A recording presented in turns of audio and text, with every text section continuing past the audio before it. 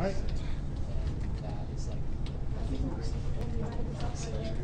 It is 9 o'clock. I'm going to uh, get started with an all new homework assignment. Okay, you guys have been enjoying a break from homework assignments, so now we have a new homework assignment. It's based on the board game called Mastermind. Um, how many people know of this particular board game? Okay, it's kind of a fun you know, board game. Um, there are variants of this particular game, but this is what the board you know, kind of looks like. You know, it's a two-player game. Uh, what usually happens is one person would act, you know, as the quote-unquote spy, or the person who's hiding a particular color pattern from the other person. So the other person will um, kind of try to guess what the color pattern is by you know, putting these pegs into the, the, the main part of this board. So this is called, this is the main part of the board, like this part here. And then these are for scoring. Okay, so these little smaller pegs are for scoring. Um, this is one configuration. You know, the, the one that I usually play with is a smaller one. It's an even more portable version of a Mastermind. Um, there are you know different ways to solve problems, and what I'll do is I'm going to describe the game first. You can read the rest on uh, Wikipedia, and I'm pretty sure there are other um, places where you can look up the instructions. This one is actually this is actually a pretty good one too. This one is actually online, and uh, so what you do is you uh, try to guess the pattern. In this particular version, the computer is playing the spy, and I'm going to play the decoder. So my job is to decode and figure out what those question marks are based on the feedback of my initial guesses. Okay. So what I'll do is I'm going to give it a try, so that you guys can get an idea of what it looks like. So guessing it's just drag and drop here, or not. Oh, okay, I see. Click. And the very bottom. oh, I need to start a new game. Sorry? The first Start on round. the bottom. Start at the bottom. Oh, start here, and then click check after that. So I'm gonna try, you know, red, uh, red, red, red. Click check, and there's no match here. Okay. So in this case, you can see the scoring of these of this particular color pattern is all empty, which means you know I did not match anything in terms of color or position. Um, next one is going to be green. There are different ways to play this game. You know, This is the quote unquote easier way to do it. Um, a red peg as a score, you know, sometimes they use a black peg instead of a, a, a red peg, means it's both right in terms of color and position. So all I know is one of the four green pegs is at the right place and it's the right color. Well, that's not surprising because they're all green, right? So at this point, I know there's one green, but I have no idea where it is because I have four greens here. So the next guess is going to have one green and then three blues. And I have now the green and one of the blue is at the right is the right color at the right position. So at this point, I know the green has got to be right. Is that okay? Sorry? It's not possible because when I had uh, four greens, you know, I already got one red peg. So because of that, if I keep a green here, I should get at least one white peg because of the green. Because it's all, I know there's there's one green peg in the color pattern. I don't know where it is, but I know there's at least one. So by by changing the other three to blue, now I know there's at least one green and one blue. But by knowing that I have two pegs that are both in terms of position and color, I know the green has got to be in, in, has got to be right in terms of both color and position. And then the three blue, you know, I don't know where it is supposed to be. It can be any one of these three positions. Okay, so the next one is going to be one green, one blue, and one two yellows. I mean, there are different ways to play this game, and this is probably not the optimal way to do it. Oh, I, I said one thing, I did another. Okay, fine. But from here, I know the, uh, well, it's still not wasted, okay? I can still learn from this particular guess because what I know is uh, there's one blue, and the blue is not here. Okay, so the blue has to be here, the green has to be here, and there are no, no yellows. So it's not wasted, you know, even though I, I did make a mistake, but I still I can still salvage and get you know, as much information out of it as possible. The green has got to be here. I know the blue, there's one blue, it could be here, could be here. There are no yellows, so I'm going to go move on to beige or brown and put both of those here. Check. Well, that's not bad. so at this point, I know the green is right. The green is already settled. It's the other three positions that I have to worry about. I know there's one blue and there's one brown. Okay. One of them is giving me the white peg because it is the right color at the wrong place. The other one is giving me a red peg because it is the right color and the right position. Are we doing okay so far with this? Okay? So the way you play the game, you know, as a human is you try to deduce as much as you can based on not only one row of the guess, but based on all of the rows. So you're trying to rule out the impossible color patterns. And of the remaining ones, you just pick one and go like, okay, I'll try this one. Okay. So we know the green is here, so that is all settled. We don't know whether it is the brown ones that is accounting for one of the red ones, and then the uh, blue is accounting for the white one, or vice versa. Okay, can anyone tell me, you know, is there any evidence to tell you that is it the blue that is giving you the red, or is it one of the browns that, that's giving you the red? Hmm? I cannot tell right now. Okay but I know there's one more color. So I know there's one green, which is okay. The green is already done, so I know the green has got to be here. I know there's one blue. At this point, I don't seem to know where the blue is supposed to be, so I'm going to try a different position for the blue. And I know there's one brown, and I know there's one other color, so let's say the orange is here. Check. Okay, so I know at least there's no orange, and I'm still getting two red here and one white. Okay. Um, okay, so we'll do a green, definitely a green here. And we know that this position is not done yet, so I'm gonna try a black peg. I'll try a black peg here, try a blue peg over here, and try a brown peg over here. Now at this point, know, I have enough guesses where I can actually try to work my way backwards and see if it is consistent with all the previous guesses. In other words, I look at this combination and say, what if this is the actual hidden combination, the hidden pattern? And then I try to see if it's consistent with all of the other guesses that I have made so far. Okay? So this is a good illustration of what you have to do. So so this is not just me playing a game, online game. It is actually demonstrating what your program has to do. Okay. So if this is the actual hidden pattern, how would it score the previous one? That's the question. The green is at the right position, the right color. So it would have given me one of the reds. Okay, that's fine. If the blue is actually here, this blue would have given me a white. But this brown would also give me another white, which means it is in, inconsistent with the previous form. So that tells me this color pattern is wrong. It cannot be you know, configured this way. Okay? So let's see if I can make another one that makes it consistent. So I would make the brown here instead and put the black peg over here. Okay. So let's take a look at this particular color pattern and see if it's consistent with not only the previous, but all of the previous know, guesses that I've made so far. The green accounts for one red, the brown accounts for the other red, the blue accounts for one white. So far so good. What about two round guesses ago? The green gives me one red, and the rest is inconsistent. So I know this cannot be the pattern either.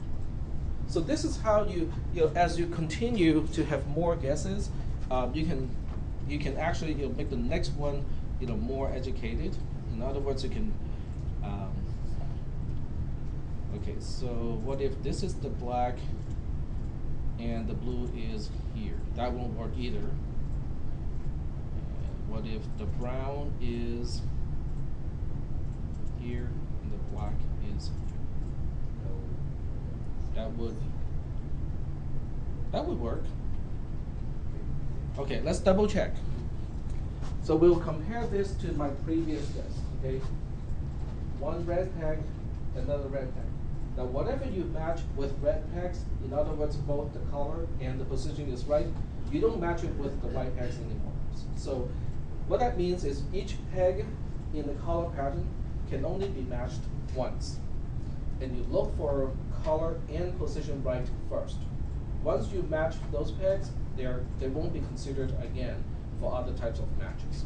Are we doing okay so far with this example? So this will give me one red, this will give me another red, and this will give me a white peg. So, so far so good. Match against the two guesses ago. One red, two reds, one um, white. So, so far so good. What about this brown one? It's not going to be matched because this one is already matched with this one here. So this guy does not match with the other one because it's already matched. Are we doing okay so far with the rules? It's already written in the homework assignment as well, and you can also do a Wikipedia search for it. But I just want to do a demonstration to make sure that you guys kind of understand all the rules of matching. What about this one here? Okay, uh, the blue is over here. That will give me one white peg. It's all good. But why is there only one white peg? What about this blue here? Well, remember, once you match it, it you don't need to consider a color peg in either pattern. So when I use this uh, blue peg to match this blue peg here, the other blue peg has nothing to match to anymore. What about this one? Green, blue, it's good. Uh, just green and no red.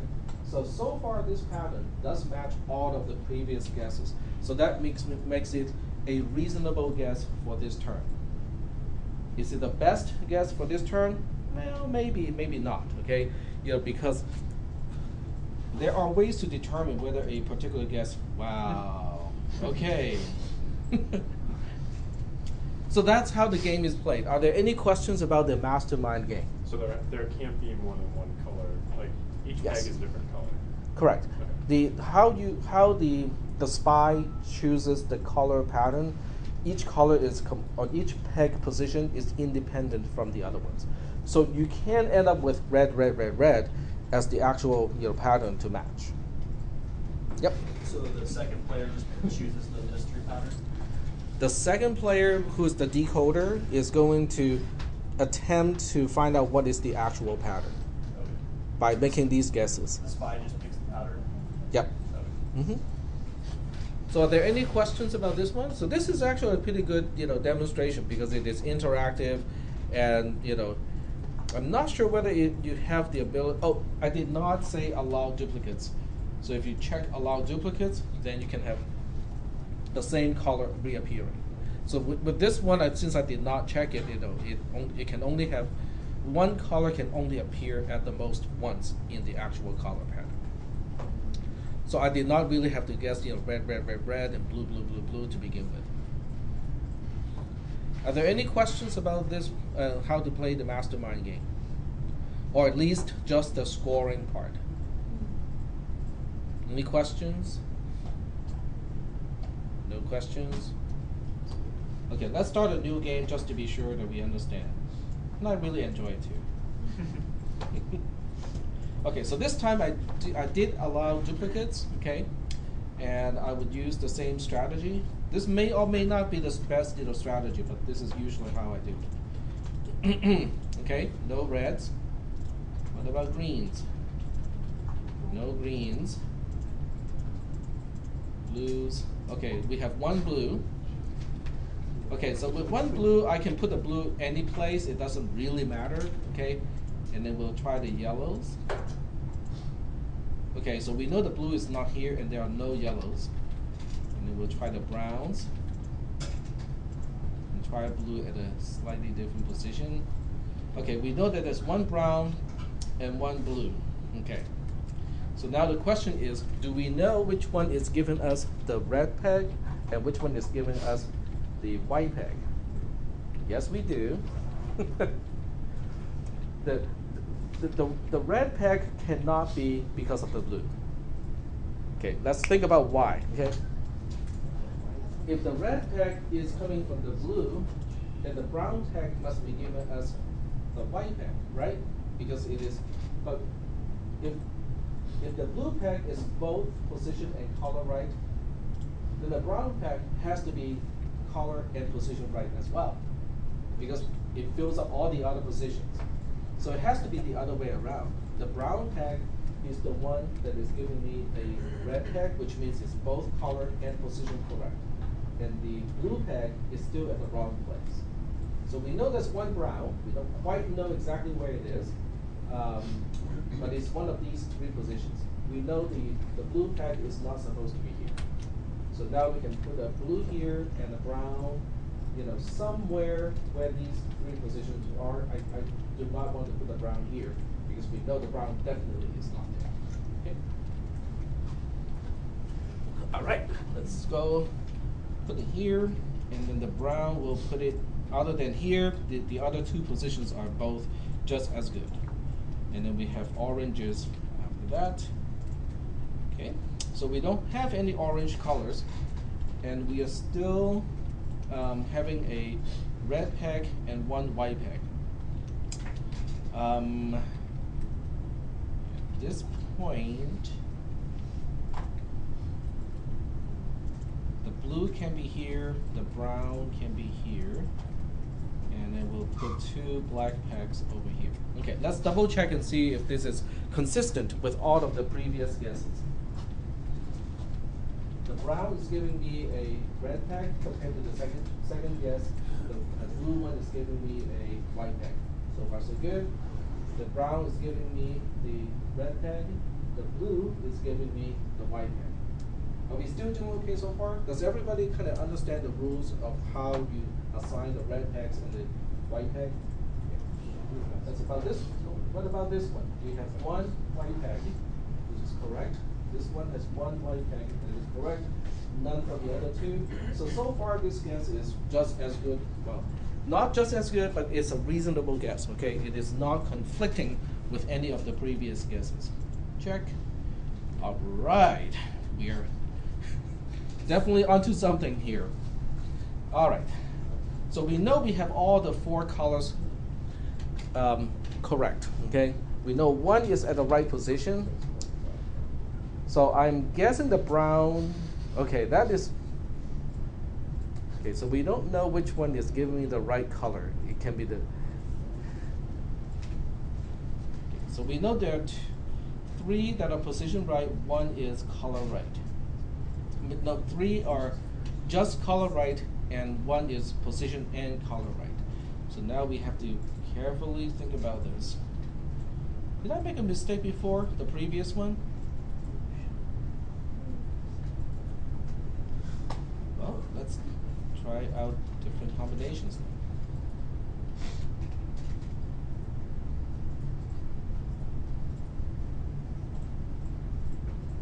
I'm still thinking about the, this particular guess here. It doesn't seem.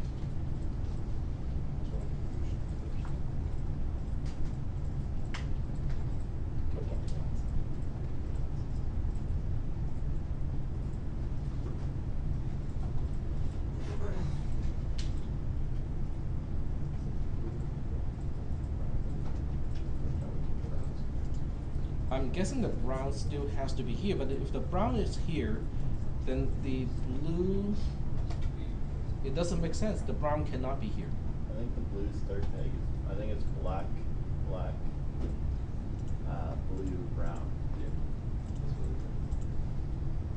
Okay, let's let's check against the consistency with all the previous guesses. So that, that means you know when I made this one, you know I made a mistake Well, okay, that's one. Sorry, that's one red and one white, so it's consistent with this guess. And we have one white here. So it's not wasted. I don't see it, you know, wasted. Okay, let's check the new one. So we have one red, one white, two whites and three whites. So it's consistent with the previous guess. What about two guesses? We have one red and one white. That's correct. And with the one before, we have one red and one white. So far so good. And then with this one, the blue gives us the white peg. So this is very likely to be the correct answer. Let's check. Yay, good job. So I'm pretty sure you guys are starting to get the hang of it, you know, the rules of this particular game. I'm not asking you to write the role of the decoder. I just want you to score two color patterns. That's all your next homework assignment is about. Now, in time, depending on how the semester goes, we might actually play the role of the decoder. In other words, you will be the spy, okay? You keep your pattern hidden, and then the computer will try to guess. And then you have to tell the computer, okay, you got you know one red peg and two white pegs, and then the computer will use that information or history of all the guesses to come up with the next one. Which is which most of you might think, oh, that's going to be hard. It's actually a lot simpler than what you think because it's just a process of elim- elimination. You're just getting rid of the impossible ones, and then whatever is remaining, you just pick one and you'll see if it is the, the answer. So, are we doing okay so far with this? Now, for whatever reason, I thought here the red pegs or the black pegs, and um, is, so the, the scoring is done differently. So maybe it's just because I misread the rules, or you know, the one that I play with it was a little different. All right, so this is your homework assignment. It's mastermind scoring, which is going to be the basis of another project in the future. Um, the setup is just to uh, set up a subfolder called mastermind, all lowercase. The, the source code should be in main.cpp and also mm for mastermind.cpp. So there are two source files in this case, plus one header file. I will show you guys how to set it up later. What the program does, the program is going to read two lines from the standard input file. Assume the first line is the hidden pattern and the second line is the actual guess. The program will compute the score in number of black and white pegs. So, you know, in my description, the number of black pegs is the same thing as the number of red pegs. So one black peg means there's one peg in the color pattern that is both correct in terms of color and position. Okay. And this is a quick introduction, you know, so I'm, you know, this part is just a repetition of what we talked about earlier, except this is not nearly as interactive. So the most important part is pegs that are matched should not be matched again. In other words, if, if one peg is already matched because it is both color and position correct, then you should not match it again against anything else when you're trying to figure out the number of white pegs. Is that okay? Because that is a very you know, important rule. Um, so in the program, instead of using colors, I just want you to use uh, digits from 0 to 5. Instead of having 8 possible colors, we're dealing with only 6 different colors. Um, and these are examples. If the hidden pattern is 1244 and the guess is 4211, then you have one uh, black peg because the 2 matches both the color and the position. And then you have three, uh, you have two white pegs because this one is matching one of these ones here. Doesn't matter which one, but it's co- it's color posi- it's color correct but position incorrect. And then this four is the same thing. It is the wrong place because it's matching this four. So are there any questions about the scoring of this particular pattern combination? This is how the program responds this. Um, I will describe what your program is supposed to do. But this is these are examples of how to score. Okay. Now, if the hidden pattern is one two four four and the guess is four four two two, then these two fours, even though they are matching these two fours, but because they are positioned incorrect, they only receive white pegs. In addition to the to the two fours, we also have one two here that is at the wrong place, and that's why we have three white pegs as a total score in this case. So here comes a big question. Can you receive four white pegs? The answer is yes, you can.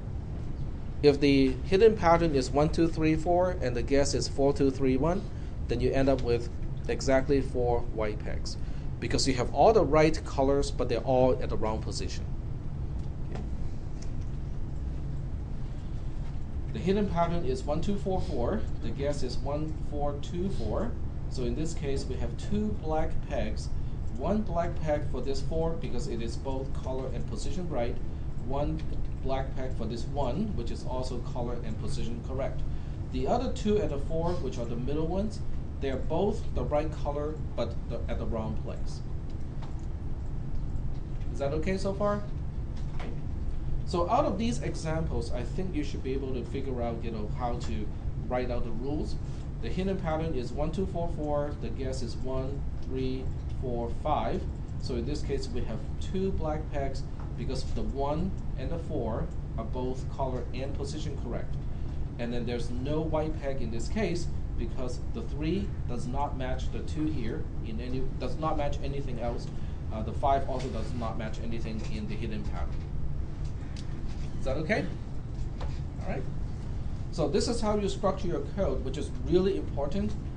Uh, the first thing is you want to create a header file called mm.h. The name is important because you know I am going to uh, make assumptions. You know, with this is going to be an assumption when I grade your homework assignment, and this is the content of mm.h. if ndef is basically said if not defined mm dot mm mm underscore h all in uppercase, and it is matched with this end if here. In other words, the rest of this file, which is this content here, is only going to be compiled or processed if mm.h is not defined as a macro. Okay, this is a mechanism to make sure that even if this header file is pound included multiple times, it's not going to give you any problem of you know redefining stuff. Okay, it's a fairly standard approach to do things in C and C++ programming using headers. The actual content of this header file is basically this portion here. The first two are just defining two constants. Uh, mm pattern length is defined to be 4, and mm under number of colors is defined to be 6. So in this case, I'm basically saying there are four pegs in each color pattern. And then each peg can choose from 0 to 5. There are six choices for each uh, peg in the color pattern. Are we doing okay so far with these numbers or the meaning of these particular numbers? Okay. And then I define a structure, and this is you know a structure that combines what we know about structures as well as arrays because we have pattern being a member of this structure, but that particular member is an array all by itself. Okay. Um, would that cause any problems? No, you know, a, a member is just a particular part of a structure, and it can have it can be of any type. And then we have uh, the score, you know, the scoring black pegs and the scoring white pegs here. And then we have the prototype of three functions. The first function is mmRead. You know, I described the behavior of these functions later on. The second one is mmPrintScore, and then the last one is mmScore, which is the one that is probably the most complicated one. So what you want to do is in the file mm.cpp, mastermind.cpp, you will implement those three functions. Okay, don't do it anywhere else. Okay, just in mm.cpp. The behavior of these three functions are described here. mmRead is going to read a color pattern from standard input file. Read the correct number of integers into the guess structure pointed to by parameter pg. So when you look at parameter PG, it is a pointer to a struct guess, and a struct guess is looks like this. So you have to read it into the pattern part. Are we doing okay so far with uh, what mmRead is supposed to do? There's no need to do error checking or error recovery. In other words, you can assume the input file is formatted correctly. Okay, all the integers are separated either by a space or a line feed. So there's no need to worry about, but what if someone gives me a lowercase character? Nah, don't, don't worry about it. Okay. because that's not the focus of this program. The focus of this program is the scoring part. The second function is called mmprint score. Um, this is a typo. It's not multiple. It is just print score. What it would do is to print the members score black pegs and score white pegs from the guess structure pointed to by PG. You just need to print the numbers in this particular order. So you want to print the number of black pegs first, and then print the number of white pegs separated by a line feed. Okay? If there are like, let's say two black pegs and one white peg, you print two, new line, one, new line. That's all I need. Okay? And then the last one is going to be the most complicated function, which is mm score.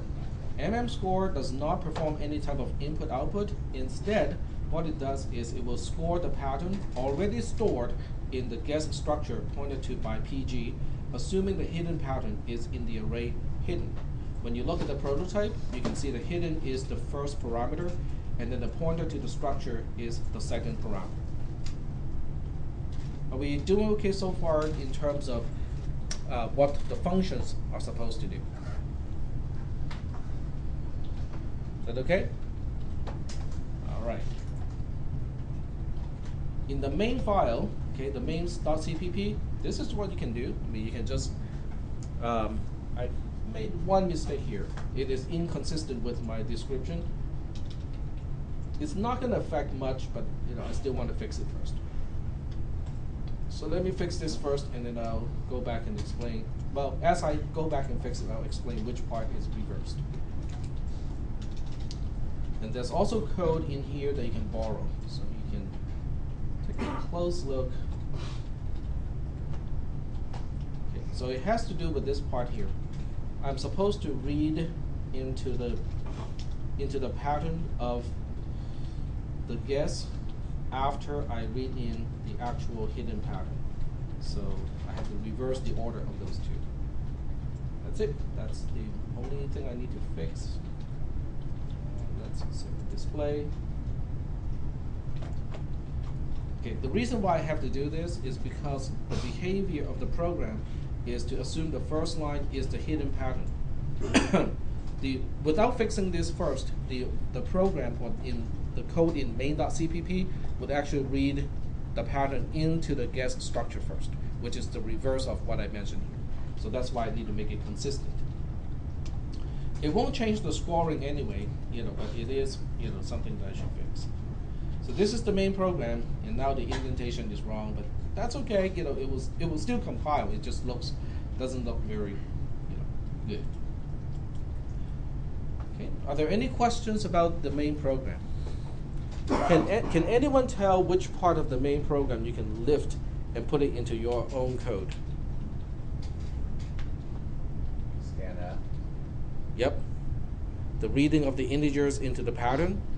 Well, you have to make some changes to it, you know, but it, for the most part, it's, it's here already. Okay. So it would be going, well, I'm not going to say again because I, I'll just tell you that there's one part of this program that you can pretty much copy, paste, and change a few things and make that your own function. Okay. Are there any questions about uh, the homework assignment up to this point? Questions? Okay. To properly make an executable, because now we have two source files and one header file, what you need to do is to either do it by hand or use a makefile. I will describe what to what a makefile is and how to use it. And this is how the, the program is going to be graded. Will be graded first partially by a script. In other words, the script will decompress your submission and you know it will do the basic running and then I will visually check the code as uh, as a part of the process too. The only part portion I will take from your submission is mm.cpp. Now this is a very important part. What this means is when I grade your homework assignment, I might use a different mm.h file, but it will still be consistent with the mm.h file that is described here. So let's go back to the mm.h file and I can tell you what I mean when I said, you know, I'll give you, when I grade it, it will be slight, it can be different. In other words, I can change this to have you know, the pattern length to be five. I can change the number of colors to be seven or eight or whatever number I choose to use. I, in the structure itself, I can reorder any one of these members. I can change the ordering of all the members. Should not change your, should not affect your code at all. Is that making any sense? Okay, because because your code should not depend on the ordering of the members inside the structure. Is that okay? Um, these I cannot really do much about. Okay, so these would still be the same. So what I really can do is to change this number, change this number, reorder the members, and that should not affect your program in mm.cpp at all. So that's what it means when I said, you know, I would only use mm.cpp from your submission. That also means that you can include other files if you want to. You can include your own main.cpp, doesn't bother me. Um, your own mm.h doesn't bother me either because my grading script will overwrite those files before running a test. Um, so that's uh, the last sentence here is the most important part. It means that your mm.cpp should not make any assumptions other than what is included, what is defined in mm.h. So don't use an integer like 4, okay, when you declare a local array for processing. Don't just say 4 assuming, you know, 4 is the length of a pattern. Use the constant definition in mm.h. That is, you know, the most important part. And to turn it in is the usual stuff. You know, when you are in the mastermind working directory, you know, just run this command here and, and just visually double check that this is correct um, to create the archive file and then turn in the archive file. Are there any questions about the homework assignment? Just you know how to set it up and stuff like that. No questions. All right. So what I'll do is I'm going to kind of run through this whole thing and give you an idea of, of what a makefile is and how to make use of a makefile in this particular case. Well, we'll do it first without the makefile and then we'll do it with the makefile. So what I'll do is I'm going to do something that you probably will have to do as well, you know, when you're working on your homework assignment. I'm going to use this particular text box for the demonstration. This stuff here goes to mm.h as a header file. So I do a copy, and I'll just go over here and create my create my mastermind folder here. And this is something that I can do easily in Linux, but in um, in Windows you cannot do it directly with the console of QEMU. If you use PuTTY to connect to the virtual machine, you can do it in PuTTY as well. So it all depends on how you set up your workflow. So just put a paste here, type a control D at the end, and then I can now go back to the header file. It has a whole bunch of empty space here. I don't think it interferes with anything. You know, I'm just going to leave it as it is um, for now. And then I'll go to my main.cpp, which is code down here. Copy, paste, Control D to end it. Okay, so now I want to at least be able to compile. So I'm going to use a warn all dash C just to compile the main.cpp file. It's not going to work because I don't have the definitions of any of the three functions that I'm supposed to implement. So the program is not going to work in any way, but I can I should still be able to compile the main.cpp file. It's complaining scanf was not declared in the scope, so you have to fix that too in your code. Well, I'm gonna fix it for you. Okay, it's complaining scanf is not defined here. Okay, how should I fix it? stdio in as a header file. Okay, very good. Like that answer. Let me fix it for you so that when you copy and paste it, this part would not be a problem.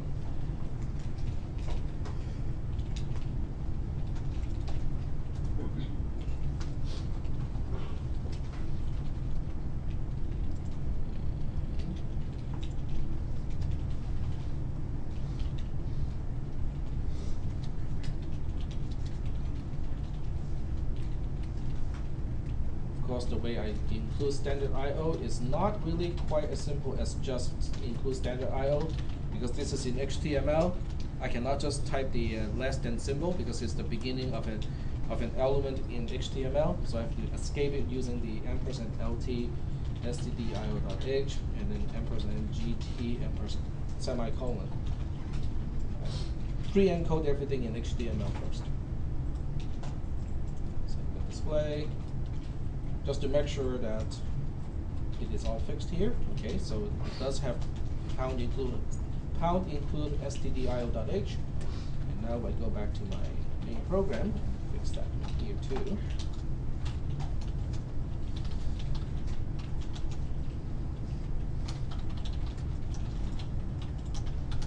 There we go.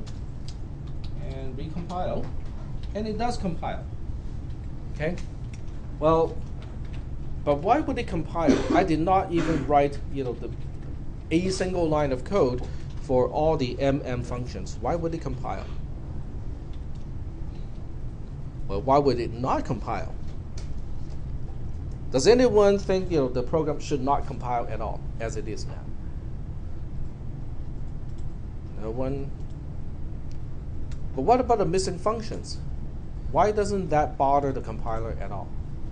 Well, know the reason that for this program compile is um, might may not have the uh, everything that we need, but it will not uh, act as it should It cannot run as a program, right? Yes. Okay, but it's still okay to compile because mm.h is telling the compiler everything it needs to know to make to compile this program.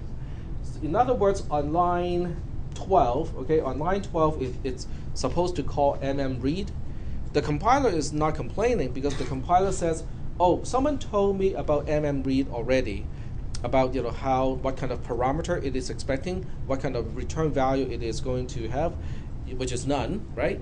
So the compiler knows exactly how to deal with mm read. The same thing for mm score and mm print score. Well, even though those functions are not defined, it doesn't bother the compiler. It would bother the linker to no end, but it does not bother the compiler. How many people still remember the distinction between a compiler and a linker? Did we talk about that? We talked about that, right? Yeah. So in this case, you know, we have one chapter written. Okay, it does have references to somewhere something that is not in here, but that's not the job of the compiler. Okay, that's the job of the linker. So if I were to write a program to make this you know, at least run, this is the minimal way to do it. I can go to mm.h, oops, mm.cpp, and I can just do the minimum to make this compile. Okay, so I'm just going to say void mm read uh, struct guess pg, and now this is a function definition. Instead of using a semicolon at the end, which is a prototype, if I use open and close curly brace on line 4 and line 5 in this case, it becomes an actual function definition. Does it do anything useful? No, but it is a definition. It does make the linker happy. Um, I can now have you know mm score, which expects you know int, what was it again? Hidden, and it's just an array, and then struct guess pg again, and once again I will leave it empty. And with mm print score, I'm gonna do the same thing here. And I will make it empty as well. So when I look at the folder, now I have, okay, let me just make sure that the whole class can see this part. Um, so right now I have two source files, okay? One is main.cpp, that part is, that part of it is hidden. Is outside of the projector range. So we have main.cpp as a source file, we have mm.cpp also as a source file. mm.h is usually not called a source file, instead it is just called a header file. It only contains the necessary uh, definitions, but not really the code of this particular program. So how do I make an executable out of this? Well, I can compile the other program. I can compile mm.cpp now that I have it, right? So mm.cpp is now compiled separately. So when I look at the files in this folder, now I have main.o corresponding to main.cpp. I have mm.o corresponding to mm.cpp. Those two are object files. They are output from the compiler. Where's my executable? It's not here. So to make an executable out of this whole thing, I have to do a G++ again. This time I use dash O to specify the output, which is the executable. We can call it main, doesn't really matter. Now you have to supply the input with main.o, which is the object file from compiling main.cpp, and mm.o, which is the object file from compiling mm.cpp. Press the enter key. Now we have the executable called main, which is the first file in this folder. Okay, are we still doing okay so far with this process? Instead of using one single source file, now we have two source files with this project. Are there any questions at this point? So the main dot CPP will call upon the m and CPP. Say that again? So the main will call upon the m m. Well, main as, a, an, as an executable is the whole thing. Okay, it it's called an executable because you can run the program with that file. it's kind of like um, it's like having having multiple chapters put into a single book. Each individual chapter is a .o file. So we have main.o as one chapter, we have mm.o as another chapter. But each chapter is not self-contained as a book because it might have references to something other than the chapter itself. But when you look at main, it does not have unresolved references. You know, all the references to mm read, mm print score, and mm score, they're all done by the linker. Okay, so we'll go ahead and run the program main. and what it's doing right now is waiting for me to enter four integers because right now the length of each pattern is only four. So I can enter like zero space, one space, two space, three, press the enter key, and it doesn't do a single thing. Why would, why would it do anything when I did not specify the actual code to do anything? So it's a good template, okay? So as it is right now, it's, it's a good template. Are there any questions about this whole process? Which is kind of cumbersome and lengthy because you have to compile each .cpp file to the .o file. Every time you make a change to the .cpp, you have to recompile. But once you have a new .o file, you also have to relink, which is a hassle. Okay, if you forget to do one of the two steps, your executable is not going to match the source code, which is a which is a problem because when you debug it, you know that won't work very well. Okay, are there any questions about this? Yep. So the the mm.cpp Mhm. is uh, being called by the header file. No, it's well, it's kind of the other way around. Okay, so let let's take a look at all of these files and find out, you know, how they relate to each other. Okay, I'm just going to do it on the whiteboard here because it's just easier. Okay, so the first file that we have is called mm.h. This is called a header file. Uh, it contains definitions that needs to be known to both main.cpp and mm.cpp. Are we doing okay so far with that? Okay, so mm.h does not include any actual code to do anything, but it contains the definitions that is needed in order for in order for main to know what it can do with a guess structure, and also in order for mm.cpp to know the details of the structure. This is the file that needs to be shared between main.cpp and mm.cpp. Is that okay? So now we have main.cpp and mm dot cpp. These two are called source files. They actually include um, statements to tell the computer what to do. Okay, step-by-step instructions. So they're both related to main mm.h because both main.cpp and mm.cpp will pound include main uh, mm.h. Is that okay? What what that also means is every time we make changes to mm.h, you have to recompile main.cpp and mm.cpp because any change to mm.h can potentially change how the code in main.cpp and also mm.cpp will work. Is that making any sense? So the arrows are indicating dependency. Okay. From main.cpp, we compile, and then we, as a result of compiling, we have main.o, which is an object file. An object file is a translated version of a C++ file. It is in, in machine code already. But it, it cannot run, it cannot run it because it may contain unresolved references. Like in this case, main.o will have un, unresolved references to mmread, mmprint_score, and then also mmscore. So it cannot run it yet, okay?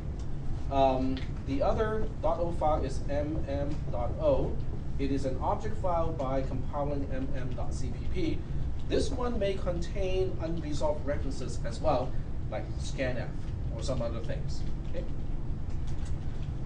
And then we have main, which is the actual executable, depending on both main.o and mm.o. It is an executable. As an executable, it means there are no unresolved references. Okay? And that's the job of a linker.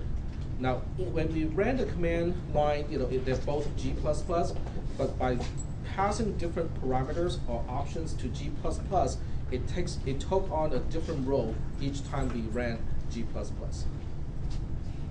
Are we doing okay so far with all this stuff here? So the command involved in all of these dependencies, this one is basically running G++ with a dash O as an option. These ones are basically running G++ with your usual stuff, which is warn all, uh, dash G to include debug information, and a dash C to mean that we only want to compile but not link. Okay?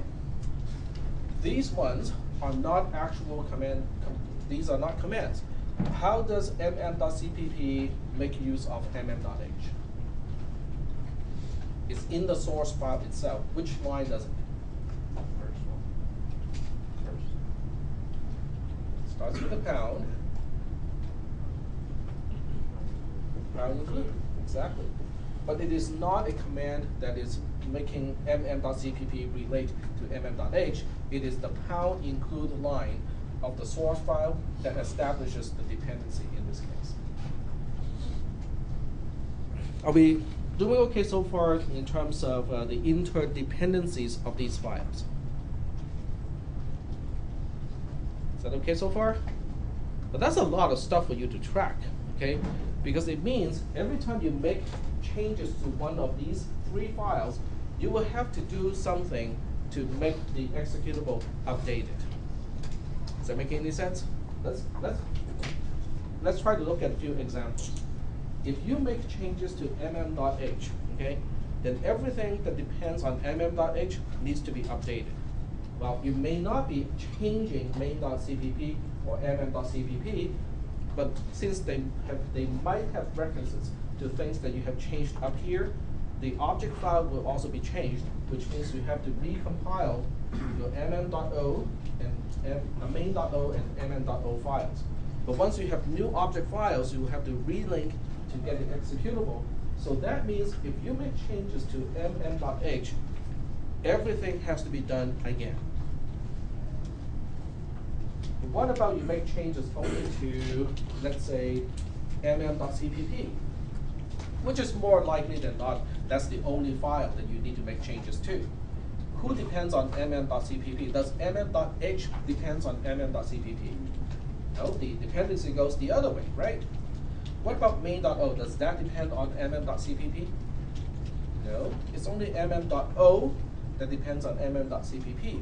So when you make changes to mm.cpp, you only need to recompile mm.cpp so you will have an up-to-date version of mm.o.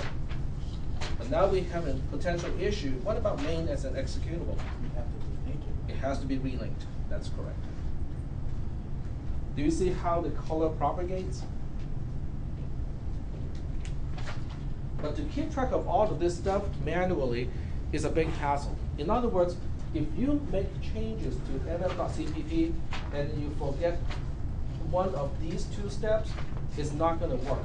You know, what you, what you will be debugging is going to be inconsistent with the source code.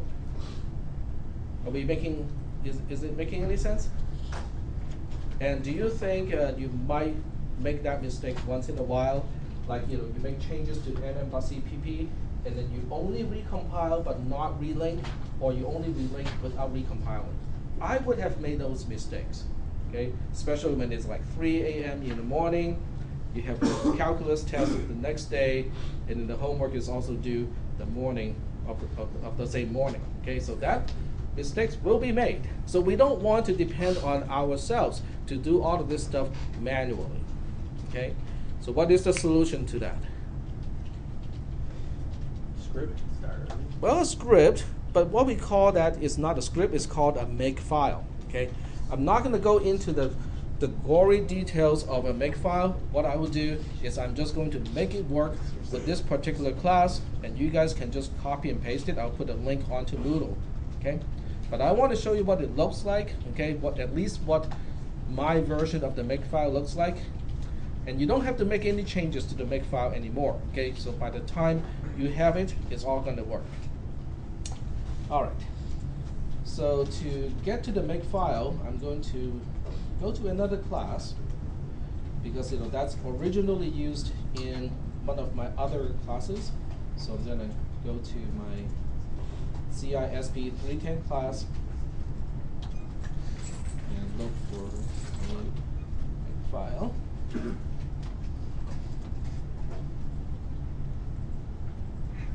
I'm, I will use this as a template of what we are going to use today. Mm, may not be it.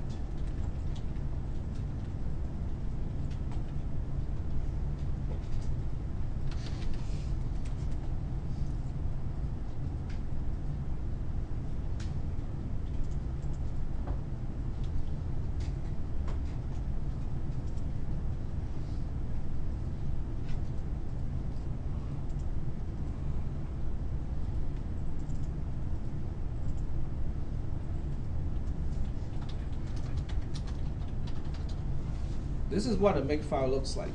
It really is just a text file um, with a whole bunch of definitions. I'm not going to spend too much time to talk about this one here. The only thing I need to change would be a few things, then it will work for your homework assignment. Because we don't have any source files, it'll specify as a C file. We only have C++ files. So we have main.cpp and also mm.cpp. And the, exe- the name of the executable is still main. That should be it. So we'll say clean. Make again. Yep, that works. It's auto magical.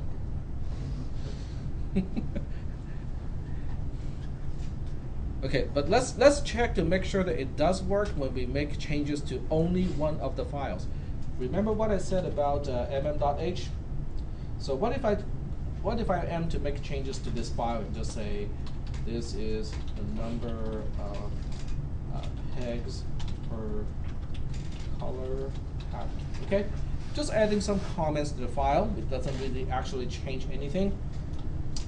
When I say make, which means redo things as necessary to give me the most up-to-date executable. What do you think it should do? It should recompile both of the CPP files, and then it should relink the .o files to the executable. Does that make any sense? Okay. So let's press the enter key and see whether that's what it does. No, it does not. Okay, so we have a problem here. I think forgot to do one thing here, and that's causing the problem. There we go. Let's do it one more time. And then do another change to mm.h. Just undo this part here. All I want to do is to change it a little bit. No, don't want to encode. There we go. Okay, so let's make again. It's still complaining. Arrgh.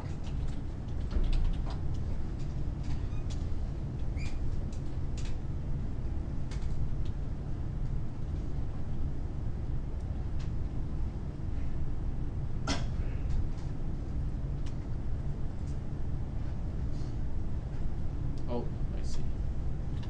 My bad. I was copying and pasting, and then I forgot to make all the changes that I'm supposed to make. One more time, third time should be a charm. Okay, so let's go ahead and do it one more time. Make changes to the header file. Just add a new line this time. Remake, and this time it does work. Okay. Um, what's what really is great about this make file is it can be used in all of your other classes. So when you take CISP 400 or 430, when you have you know really kind of more complicated projects, this makefile is easy to modify. The way it works, okay, let me just kind of show you how it works. Once you know I set up the, the whole framework, it's easy. What you need to do is just to include as many source files as you need to include here. But what if a source file like a .cpp file has a header file that it depends on? You don't even need to express that. It will figure it out automatically. Like in this case, mm.cpp and main.cpp, they both pound include mm.h. And yet we don't see any rules here that has anything that says that says, hey, if you change mm.h, you have to recompile the .cpp files and then relink to the executable. There's no rule explicitly stating that. That's because all of those dependencies are created in main.d and also mm.d as dependency files. And these are quote unquote included in the make file as well. So the whole thing is, you know, really kind of automagical. That's a, that's the best way to describe it. it. Is it, it, it just works. Okay. So what I'll do is I'm going to upload this to Moodle to this class. In fact, I'll just attach it to the homework assignment. So this way you have you know that file as well. And I'm just trying to find the best way to do it. Putting it into the source code may not be the best idea because the tabs would have been lost and that would cause massive problems. So what I'll do is I'm going to put it into the attachment here, additional files, and we'll attach make file, which is this file here. So now it is a part of the homework assignment. So when you open the homework assignment, there'll be a file quote unquote attached to it. That would be the make file. Right. Are there any questions about this particular program? Homework assignment. So now that you have a make file, do not run those individual commands anymore. Every time you make any changes to any of the source files and you're ready to run the program again, just say make. That's it. Make, enter. It doesn't matter which file you make changes to, make will take care of it. Well, to its best ability. Okay, let me show you why I said to its best ability. So I'm going to go to mm.h and I'll start to do some implementation on mm.cpp. I'll make some implementations here. Okay, so I'm going to say um, int i, and I'll just say for i equals to zero. And you know, for whatever reason, I forgot to, I you know, I didn't quite finish the program. Okay, this is this is all I wrote in the program. Well, make is not going to help in this case, right? It will stop, but it doesn't. It doesn't do anything in addition to what it could do. Okay. In other words, when it finds one compile time error, it will stop right there. It won't even bother to link and to give you something that you can run GDB on. Is that okay so far? Okay. Let me show you another thing that might be helpful. So let me fix this first. And this time I can make again. But instead of making just main, which is by default, this is that's the default target, I'm gonna main, make main.gdb, okay? There is no such file called main.gdb. This is a virtual target, which means you can say, you can ask make to make this target, but since it's not a real target, what it would do instead is to make sure everything is up to date and run GDB automatically. So that means, you know, if you make changes to your source file and you say, I'm ready to run it in the debugger again, you can say make main.gdb and it will automatically bring it into the debugger itself. It saves you a few keystrokes. okay? But at the same time, the most important part about this is it makes sure that you won't be GDBing an obsolete executable. Do you guys know what I mean, mean by that? No? Okay. If you do it as a two step process, okay, let me just illustrate what I mean by that. If you always say make and then you run GDB all by itself separately, what if you forgot to make first? Then you'll just be saying GDB main, but that executable may be out of date. Is that making any sense? You make some changes in an editor, you get out of the editor, and then you just say GDB main without making first. Then you'll be debugging the old executable even though the source file is updated. Nothing can be more confusing or, con- uh, or, uh, or frustrating than that. Because in the debugger, you'll actually be seeing the code, the new code, the changed code. But the behavior is going to be the old behavior. So you'll be, well, I would be, you know, totally confused, you know, when I look at the source code and go like, well, but this really should be adding one to I, but when I look at the behavior of the program, it's not adding one to I. That's because the source code is updated, but the executable is not. So there's a, they're not matching up. Okay, but if you don't do this, instead you just say make main.gdb. This will always make, it will always update the executable first, and then run GDB for you using the new updated executable. Yep. Uh, I run GDB with uh, options TUI, the virtual mode. Can I still add TUI to this? You can if you want to. So what you would need to do, because I'm I don't I don't use the uh, the TUI or the GUI mode. So what you will have to do is to change the makefile. And then what you need to do is to change this line here. So on, on line 27, which is the command to run GDB, you will have to either change the name of the command line. Which uh, debugger are you running? Just GDB, but you want to supply like an argument, like a dash something? dash TUI. Yeah, then you just say GDB dash TUI and then the same thing after that. You, you can customize the makefile to suit your needs. Okay. Are there any questions about the makefile? How to use it? Not to make one, but how, just how to use it. oh, well, I have a question because when I type make, I don't specify make file as a, as a name to pass to make. That's because makefile is a default file name. When you run make, it will look for the file name makefile. Okay, so that's why I don't need to specify dash f makefile. It doesn't hurt to do it if you if that's what you want to do. You can say make dash lowercase f makefile, which tells make to look specifically for the makefile called makefile. But this is totally unnecessary because makefile starting with the uppercase M is a default makefile name and it will make will automatically look for that name without specifying it. But this will work too.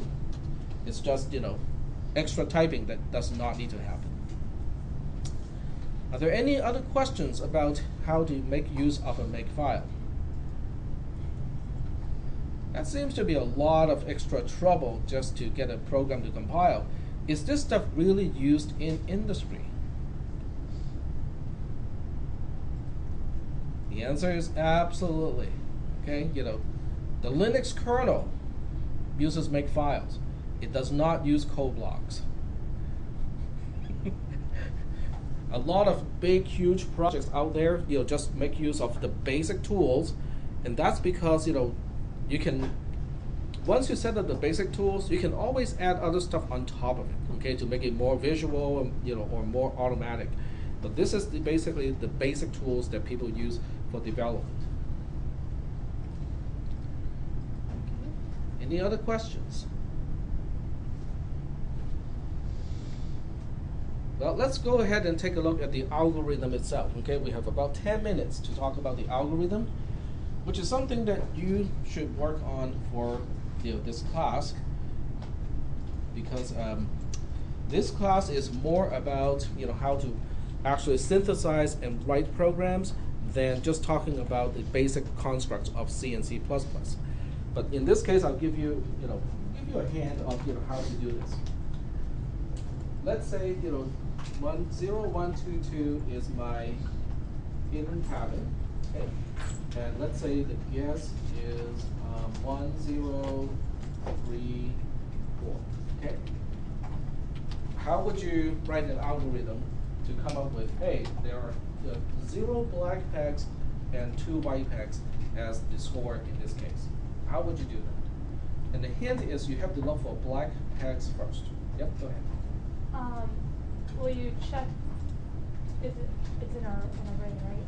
Yep. So you. Both of these are in yeah. arrays. So you check to see if the first one, the first array guess matches the first array in, Mhm. in VG, you add one to the number of how many black pegs there is. That's correct. The first thing you do is to look at the first one and look at the first one in both arrays. Okay?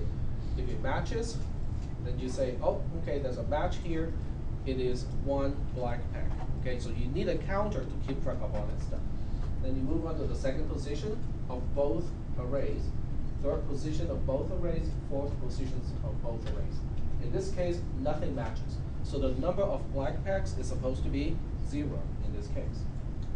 Then you move on to the slightly more complicated part of looking for white pegs. Because with white pegs, what you do is you look at the first item of the first array, and then you cross-check it with the other ones, okay? All of the other ones.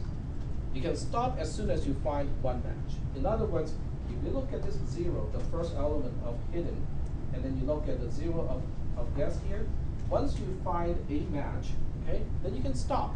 Because any peg can only be matched exactly once.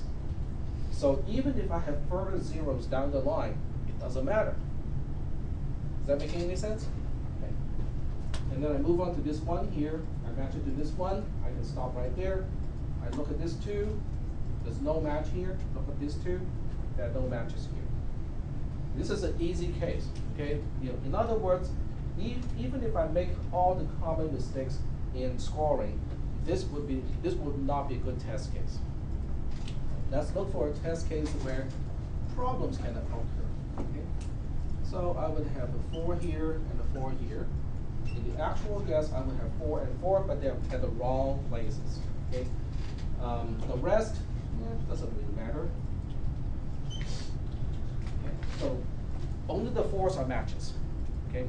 So once again, I look for black pegs first. In other words, I look at the pegs of each pattern at the same position.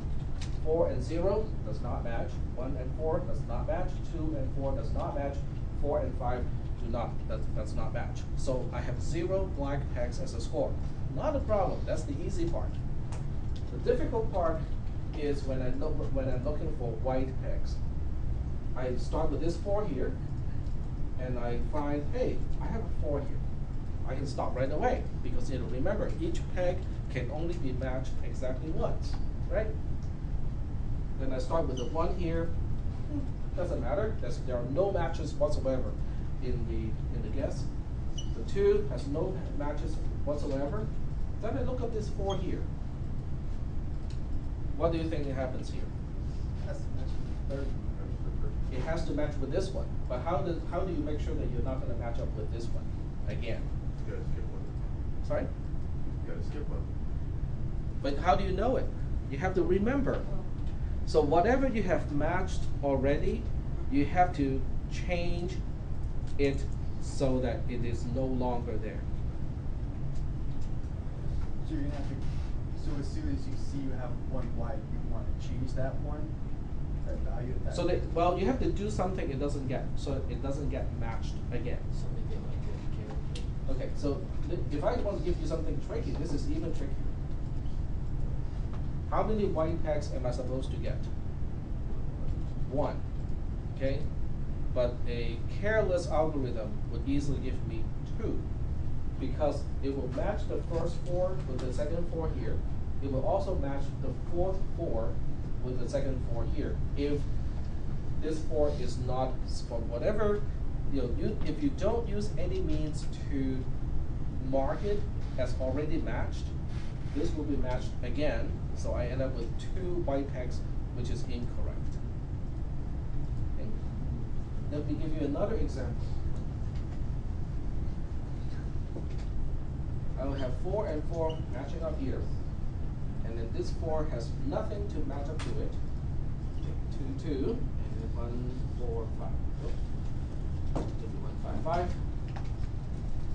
Once again, we have a potential problem. Because in this case, how many black pegs am I, am I supposed to get? Four. Exactly one. How many white pegs am I supposed to get? Zero, okay?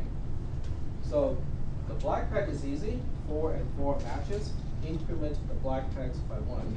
Four and one does not match, two and five does not match, two and five does not match. That's the easy part, okay? Calculating the number of black pegs should be done first, and that's the easier of the two processes. Now I'm on to the logic to look for white pegs. So with the white pegs, well, first of all, I have to make sure that I don't match up this four with this four again.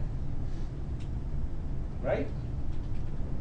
Now, that is not really difficult. All you need is a conditional statement to guard the, the rest of the matching logic. In other words, you have to say the index of the first uh, peg has to be different from the index of the second pattern, then do the match. Okay, you know, that's a fairly easy thing to do. Then you look up to, okay, this four does not, doesn't, you, you're not even gonna match up with this one, so it's not a non, it's a non-issue. Four and one does not match, four and five does not match, four and five does not match. Even that is wrong, because this four has been matched already because of a black peg. You should not even consider it, it's like, uh, that thing is gone, don't even look up, look at them again. The problem is with this four here. With this four, if an algorithm is not care- careful, it would easily match up with this four here and erroneously score a white peg, which is incorrect, okay? Because this four should be gone as well. In other words, what you need to do in your algorithm is to do what I do here on the whiteboard, but just using, you know, like usual notation. Four and four matches up, cross them out. Once it is crossed out, do not match it again. It's easy to do on a whiteboard, but then you have to think about how to do it in your program. You can use additional arrays, okay? Your algorithm is, can use additional arrays if you want to.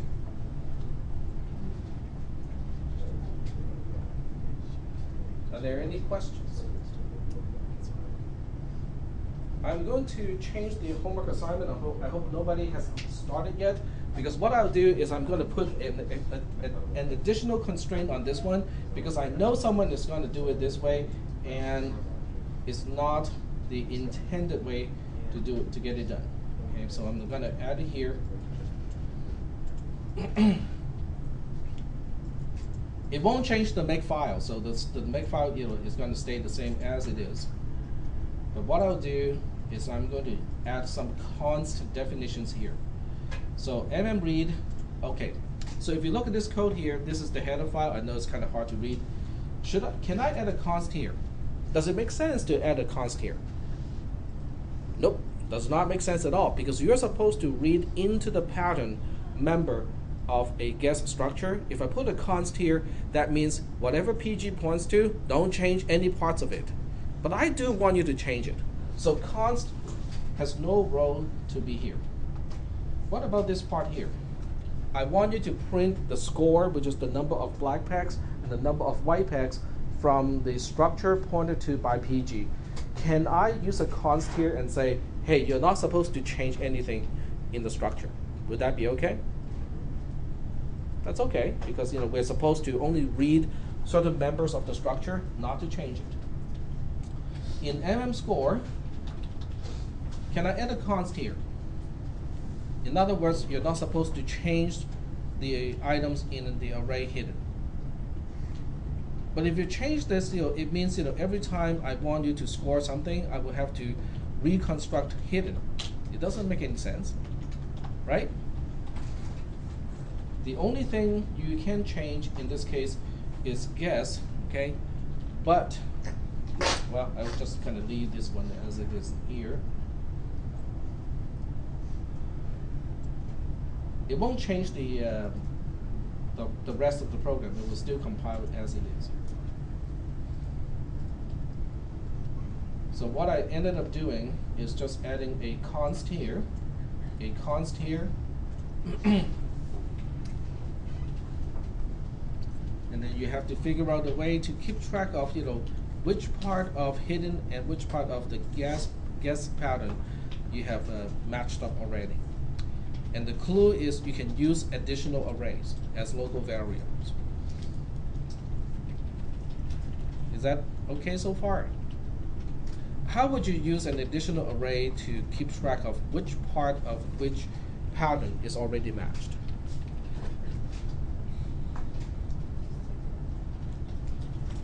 Just an array of the same length, zero or one telling you Yep. Well, that's kind of wasteful, but yes, you can do it that way. Did everybody catch that one? You declare two additional arrays in your function, and those arrays will have the same number of elements. And if a an element is a zero, it means you know, a certain position of a corresponding array is already matched. If it is the other value, it is not matched yet. So you can use that as an indicator of whether a particular peg in a particular pattern is already matched. But that means you have to remember to initialize that array first as well. Okay, you basically have to initialize those additional arrays to remember that nothing has any match yet. Okay, but every time you do a match, then you remember in the other array and say, hey, don't match this again. It has to be matched already. Is that okay so far?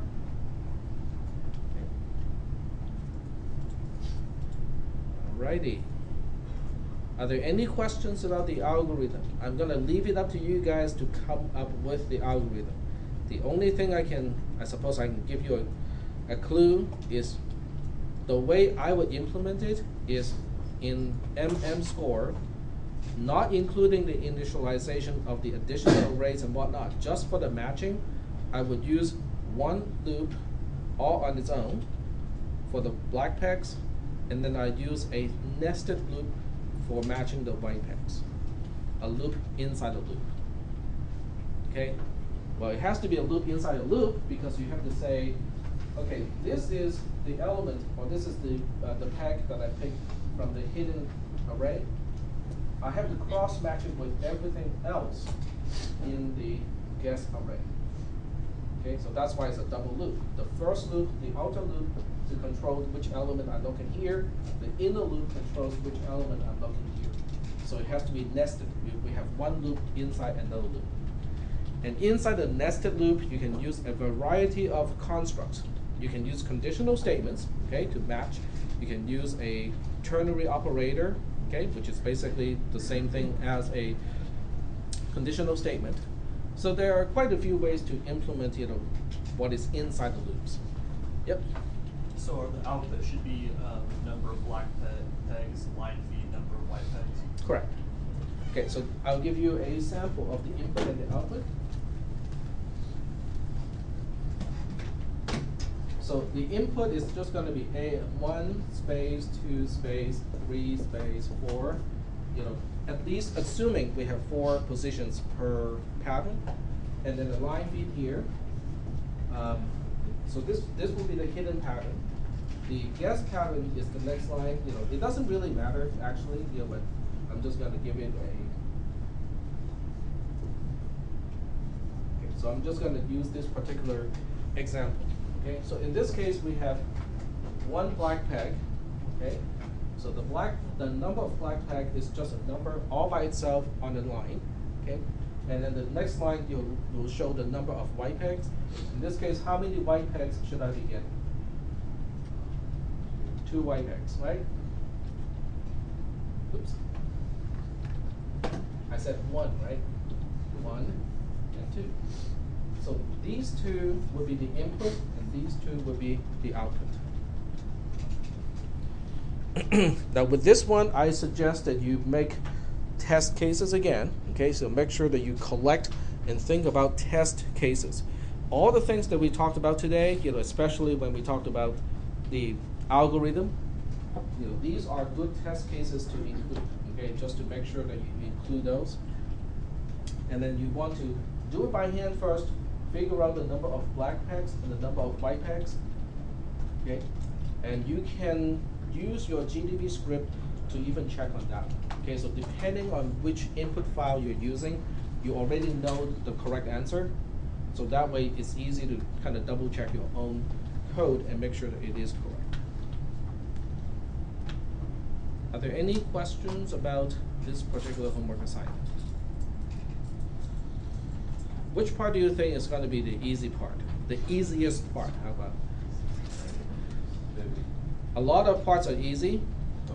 MM read is super easy because you just have to copy and paste some code that is already in main.cpp, change a few things, it's all done. What about MM print score? Would that be a difficult one? You're supposed to print the number of black pegs on one line and print the number of white pegs on a separate line. So those two subroutines are fairly easy. The only one that is challenging is going to be MM score. All right. So we are running out of time of the lecture. So what I will do is I'm going to take a 10 minute break, and then when we come back, I don't know. I can give you some examples of like cross-checking stuff, okay? But it's not going to be. It's going to be related to your homework assignment, but it won't be the complete solution to your homework assignment. Okay. So we'll do that in about 10 minutes. I'll stop the recorder now and restart it uh,